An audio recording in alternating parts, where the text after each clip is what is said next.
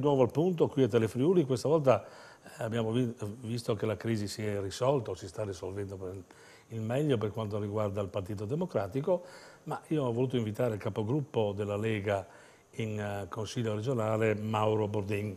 Benvenuto capogruppo. Grazie. Bene, allora, eh, tra sogni e realtà, eh, evidentemente, o i sondaggi o qualche cosa, l'autogol di Salvini c'è stato, insomma, ecco.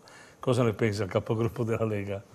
Ma più che sogni in realtà, sinceramente credo che tutto sia nato dal fatto che noi avevamo un governo composto da forze politiche che avevano due filosofie e due modi di operare totalmente diversi. Mm. C'era un governo a trazione leghista, un governo in cui il, mm, Salvini come ministro e vice premier in qualche modo dettava l'agenda, eh, correva, mentre qualcuno in realtà non solamente camminava ma talvolta anche eh, faceva passi all'indietro. Governare in queste condizioni, con litigi continui, con uh, uno screditamento mh, progressivo, cosa che è avvenuta soprattutto poi nel periodo europeo, con uh, consigli di ministri che durano ore senza giungere a una soluzione, con uh, tantissimi no che vengono detti alle riforme che la Lega voleva portare avanti, con uh, tantissimi no che vengono frapposti alla volontà della Lega di Salvini di, di cambiare l'Italia in maniera radicale, di fronte a questo eh, Matteo Salvini ha detto basta, noi non possiamo rimanere a lavorare in queste condizioni, noi vogliamo avere un governo che lavori in velocità, con determinazione, con forza e a questo punto ridiamo la parola agli elettori. Quello che evidentemente è stato sottovalutato da Matteo Salvini, dalla Lega e da tutti noi è la voglia di rimanere attaccati alla poltrona di chi in Parlamento oggi c'è e domani non c'era più stato. Il governo attuale dice che la, la, la Costituzione lo permetteva, per cui noi abbiamo portato avanti le prerogative della Costituzione. Non è una questione di Costituzione o non Costituzione, eh, è una questione di etica che, che può esserci o non esserci. Eh, I sondaggi, credo... peraltro, per completezza dell'informazione, dicevano che la gente voleva il voto, questo sì. Ma la, la gente voleva il voto perché evidentemente eh, era chiaro a tutti che Matteo Salvini e la Lega eh, in qualche modo sono l'unico interlocutore che in questo momento può garantire riforme, può garantire cambiamenti, può garantire un futuro alle nostre famiglie, alle nostre imprese, ai nostri giovani. Eh, però ricordo, eh, credo che questo sia l'aspetto su cui bisogna focalizzarsi, al di là di, di, quelle che sono le parole e le discussioni, che in questo momento il governo viene fatto da Movimento 5 Stelle e PD che fino al giorno prima, un'ora prima, si insultavano bellamente dalla mattina alla sera. Uno insultava l'altro perché era il partito di Bibbiano, l'altro insultava l'altro perché erano incapaci, cioè c'erano insulti continui, attacchi continui reciproci Ebbene, da questi insulti continui, da questi attacchi reciproci continui, si è arrivati ad un governo insieme, vogliamoci lei, bene. Lei sa cosa e chi è il Presidente? Tra l'altro, il Presidente è lo stesso Presidente che per un anno e mezzo ha governato con la Lega, seguendo il, il programma della Lega, e adesso diventa Presidente del Consiglio con il PD. Cioè, allora io dico, l'etica, la morale, la dignità, l'orgoglio, la coerenza, dove sono in tutto questo? Eh, mh, mm, sì, lei sa benissimo che Bismarck diceva che la politica è l'arte del possibile, ma qui siamo nell'arte dell'impossibile, no? secondo lei? E forse c'era la trappola già avviata con il voto che i 5 Stelle hanno dato in Europa? Perché mi pare eh, che lì... È chiaro che lì, lì, si dimostrava già il fatto che c'era un'intesa molto forte fra PD e 5 Stelle. E, e, tutto quello che è successo, gli attacchi a Salvini era il nemico numero uno dei 5 Stelle per, per l'Europea, cioè per dire che in qualche modo era stato puntato per il semplice fatto che la gente si era accorta che Salvini governava e faceva quello che aveva promesso e, e riusciva a dare risposte ai cittadini e parlava con la gente, stando tra la gente. Invece loro fondamentalmente erano arroccati su alcune posizioni che sono assolutamente anacronistiche, però arte dell'impossibile o del possibile. Io dico che la gente deve una volta tanto capire se quello che è successo è un qualcosa che può essere digerito e accettato dal punto di vista morale ed etico. Perché se noi continuiamo a dare per scontato che perché c'è la Costituzione che lo consente, uno può governare un anno con un partito e dopo fare un governo con chi la pensa in modo totalmente opposto e il Presidente del Consiglio rimane la stessa persona, se pensiamo che questo sia un qualcosa di eticamente e moralmente sostenibile, allora a questo punto l'Italia non ha futuro. Io invece sono convinto che i cittadini italiani sapranno discernere i cittadini italiani sapranno capire che c'è qualcuno che in qualche modo per rimanere attaccato alla poltrona, per continuare a governare, per bloccare il cambiamento è disposto ad allearsi col peggior nemico, ecco, siccome sono convinto che gli italiani questi lo capiranno, poi alla fine, nei prossimi tempi, quando alla fine, finalmente la parola ai elettori, qualcuno dovrà prima o poi darla, credo che gli elettori a questo punto sapranno Ecco, comunque adesso segnale. bisogna vedere cosa farà il nuovo governo in tema di tasse, in tema di migrazione, eh, che sono due cose molto diciamo così, complicate da, da rivedere, e però che cosa farà la Lega adesso? Allora, quello che faranno loro, sinceramente io non ho la sfera di cristallo, ma sinceramente dico, i 5 Stelle abbiamo visto un anno, eh, qualche mese al governo e abbiamo visto quello che sanno produrre, obiettivamente poco e, e, sinceramente la qualità dal mio punto di vista non è eccellente eccelsa. Il PD l'abbiamo beccato al governo per, per decenni, eh, molto spesso anche senza aver ottenuto un risultato elettorale eclatante, perché alla fine sono molto bravi a fare gli accordi di, di, di palazzo e abbiamo visto cosa hanno combinato. Siccome alla fine continuamente sono stati bocciati gli elettori, io non mi aspetto assolutamente niente, credo che anche gli italiani si aspettino ben poco da questo governo.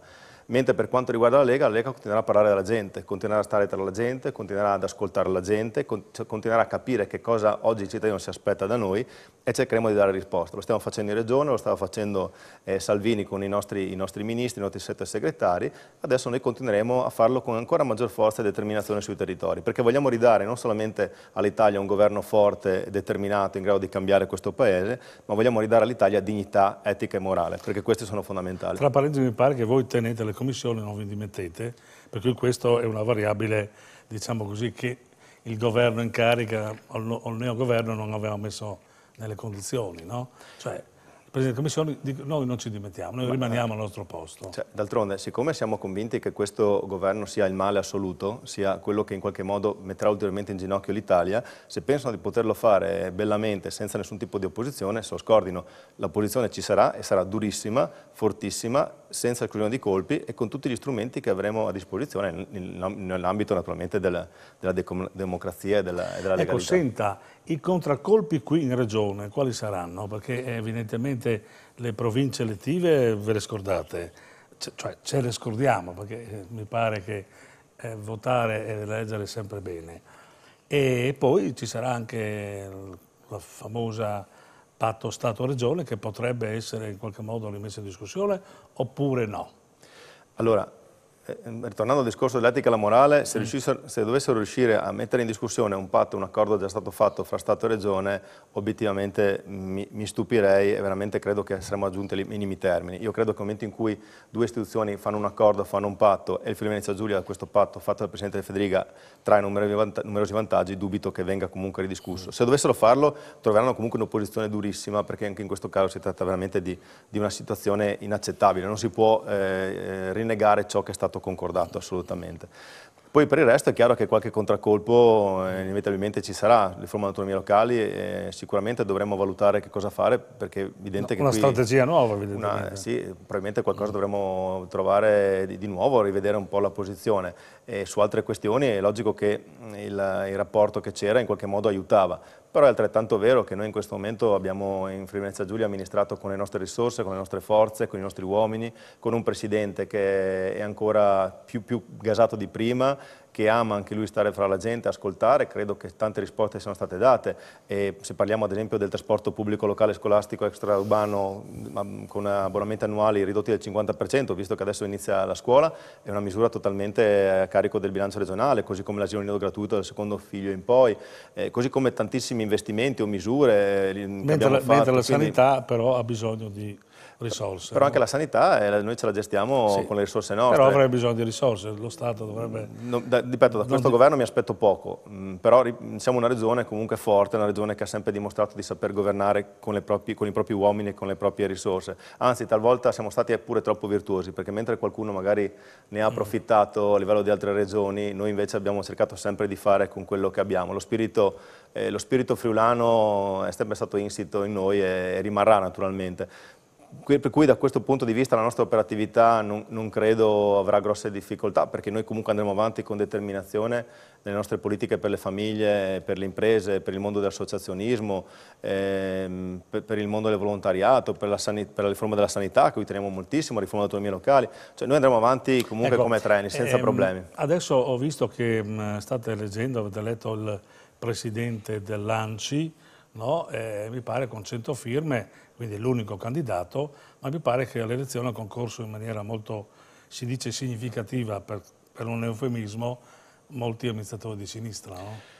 Ma allora il candidato che in qualche modo è stato proposto è una persona di qualità, eh, autorevole, rispettato, eh, apprezzato, che tra l'altro ha già un ruolo in ANCI e quindi quando ci sono queste caratteristiche è normale che poi il sostegno venga in modo trasversale, perché ci, può, ci possono essere le battaglie politiche, le battaglie politiche le facciamo sulle riforme, ma nel momento in cui si tratta di eh, nominare il Presidente e gli organi di vertice di una situazione come l'ANCI, che deve essere un organo attento alle esigenze degli enti locali, è chiaro che a questo punto la qualità della persona, dell'amministratore del sindaco che si propone prende il sopravvento. Quindi il fatto che la sua candidatura sia stata sostenuta non solamente dalla Lega, ma da tantissimi sindaci del centrodestra, del centrosinistra, civici, di tutte, le, di, di tutte le, le, espressioni politiche, credo questo sia una dimostrazione che veramente è un candidato che unisce, un candidato che nasce da un consenso molto ampio che va al di là del partito di appartenenza. Ecco, mm, restiamo sempre in tema di, di enti locali.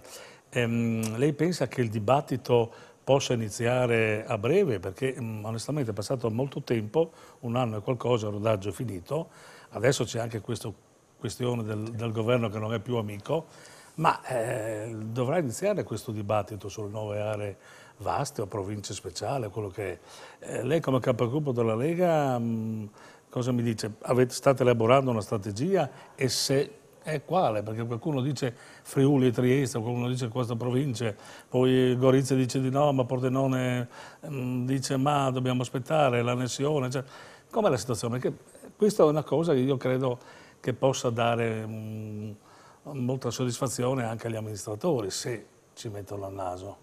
Ma eh, diciamo che noi siamo pronti per mettere i fari in acqua. La settimana prossima abbiamo martedì un incontro dei capigruppo di maggioranza con l'assessore Riccardi e mercoledì un incontro dei capigruppo di maggioranza con l'assessore Roberti. Sono due eh, incontri che sono eh, fondamentali per andare ad approfondire i contenuti della, delle due riforme, quindi autonomia locali e sanità, eh, due incontri con i quali i capigruppo di maggioranza comunque rivendicano il ruolo del Consiglio, della, della maggioranza consigliare e vogliono quindi in qualche modo dare un aiuto, un supporto agli assessori in queste importanti riforme. Quindi eh, in queste settimane sicuramente si delineeranno nel più nel dettaglio e poi ci sarà anche comunque il percorso di condivisione che abbiamo sempre deciso di fare perché non vogliamo calare dall'alto nessuna riforma, vogliamo condividerla e quindi credo che i prossimi mesi da questo punto di vista saranno importanti e determinanti.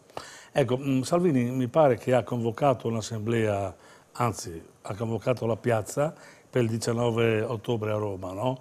quindi state organizzando anche questo, questo incontro che in qualche modo dovrà essere forte perché il flop sarebbe un po' un problema, no? Non abbiamo dubbi sulla partecipazione della gente perché noi abbiamo gente che ci chiede già di partecipare a tutti gli eventi che fa la Lega. Noi abbiamo comunque il 15 settembre Pontida mm -hmm. E per quanto riguarda Pontida, già in provincia di Udine si sta lavorando per una seconda corriera dopo che la prima di 80 posti è già, già, già piena. e quindi ci sono già domande nuove in lista d'attesa. Poi il 21-22 c'è una gazzebata che faremo in giro per i territori, per il tesseramento e comunque per spiegare alla gente quello che è successo.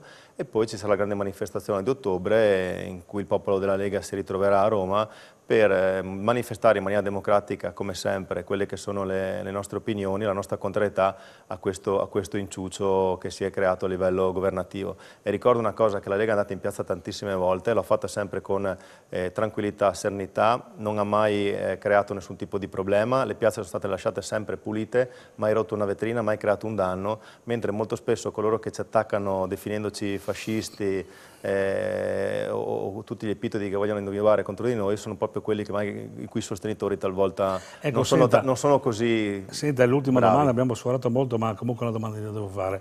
Un uh, vostro consigliere regionale, Slocar, mi pare che ha, ha fatto un, un'affermazione forte, dice ma dovremmo tornare nei boschi a sparare ai fascisti del PD. Lei come interpreta questa? Una maniera così provocatoria, una goliardica oppure perché ha creato il segno, so che il, il segretario del PD Sauri si è un momentino molto... Allora, eh, Danilo Slocar ha già chiarito naturalmente la, la, portata di questa sua affermazione, tra l'altro da capire se esattamente in questi termini o, o Come è stata meno, riportata? Perché da, poi chiaramente è stata fatta mm. all'interno di una festa della Lega con alcune persone chiacchierata fra amici e può capitare naturalmente la frase più o meno, la goliardia eccetera eccetera. Io credo che, credo che quello che conta siano i fatti. Né Danilo Slocar né la Lega hanno mai compiuto nessun tipo di atto eh, di delinquenza, nessun tipo di atto eversivo, nessun tipo di atto di questo tipo. Ribadisco, molto spesso coloro che in questo momento ci attaccano hanno tra le loro fila, tra i loro amici, tra i loro sostenitori, persone che in realtà in, in altri tempi si sono comportate molto diversamente. Non tanto magari in Friuli Giulia, dove devo dire la verità siamo una regione molto, molto virtuosa e attenta al rispetto delle regole, ma pensiamo alle varie manifestazioni che sono state in giro per l'Italia e che cosa è stato fatto nei tempi. Ecco, non credo che quelli fossero leghisti. Bene, allora grazie per eh, questa chiacchierata molto interessante con il capogruppo Mauro Bordin della Lega qui in Consiglio regionale. Naturalmente tornerà per darci gli eventi che, e le strategie che la Lega metterà in atto. Grazie a voi, grazie dei messaggini e grazie anche dell'affetto che ci date sempre. Ringrazio la regia, ringrazio anche gli studi di Telefriuli. Naturalmente alla prossima.